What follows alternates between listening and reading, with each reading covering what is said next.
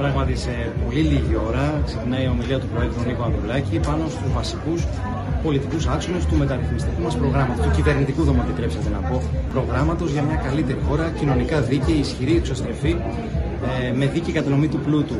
Οι βασικοί άξονες είναι ουσιαστικά ένα νέο παραγωγικό μοντέλο, το οποίο θα ενισχύει την εγχώρια παραγωγή και τον ψηφιακό μετασχηματισμό της οικονομίας μας.